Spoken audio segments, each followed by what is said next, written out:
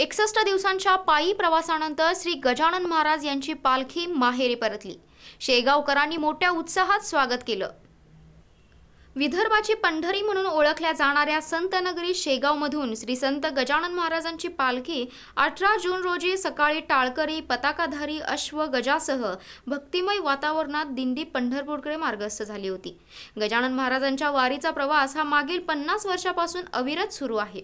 वारीचं यंदा एक्कावन्नावं वर्ष होतं. श्री संत गजानन महाराजांची पालखी तेहतीस दिवसांचा पायी प्रवास आणि सातशे पंचावन्न सातशे पन्नास किलोमीटरचं अंतर कापून एकवीस जुलै रोजी पंढरीच्या पावनभूमीत दाखल झाली. तर येथून सत्तावीस जुलै रोजी परतीच्या प्रवासाला प्रारंभ करीत पुन्हा सुमारे पाचशे पन्नास किलोमीटरचा पायी प्रवास केल्यानंतर आज सतरा ऑगस्ट रोजी शेगावी पोहोचली आहे.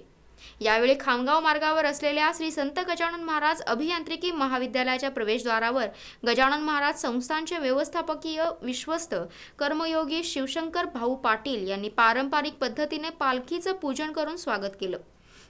पालखीच्या स्वागतानंतर महाआरती झाली. दुपारी मुख्य पालखीची मिरवणूक निघाली. ती शहर परिसरात मार्गक्रमणा करीत मंदिरात पोहोचली. त्यानंतर मंदिरात आरती झाल्यानंतर पंढरपूरच्या वारीची सांगता झाली. संतनगरी शेगावच्या पंचक्रोशीतील हजारो भाविक भक्तांनी श्रींचं दर्शन घेतलं. अनेक भक्तांनी पालखीवर पुष्पवृष्टी केली.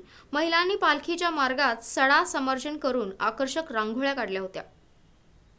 माझं नाव आरती अमोल पोपळघट राहणार नागपूर. आम्ही गेल्या तीन वर्षापासून दिंडीला पायी येत असतो.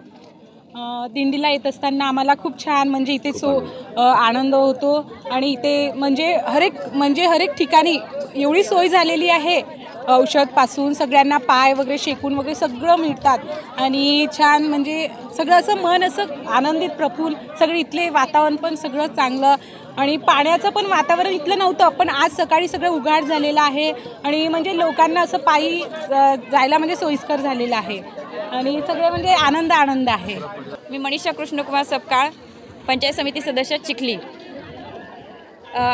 आज आम्ही या शेगाव या ठिकाणी अ, पायीवारीसाठी आलेलो आहोत. गेल्या दोन वर्षापासून आम्ही पायीवारीला येण्याचा अनुभव घेतो आहे खरोखर या वारीमध्ये चालत असताना अजिबात थकवा येत नाही. भक्तांची गजानन महाराजावरची श्रद्धा बघून आम्हालासुद्धा खूप उत्साह येतो. आम्ही स्वतःला खूप भाग्यवान समजतो कारण बुलढाणा जिल्ह्यामध्ये आम्ही स्वतःच्या मातृभूमीमध्ये हे शेगाव हे स्थान येतं आणि या स्था ठिकाणी येऊन अनेक लोक संत गजानन महाराजांचा आशीर्वाद घेतात. त्यामुळे आम्ही स्वतःला खूप भाग्यवान समजतो.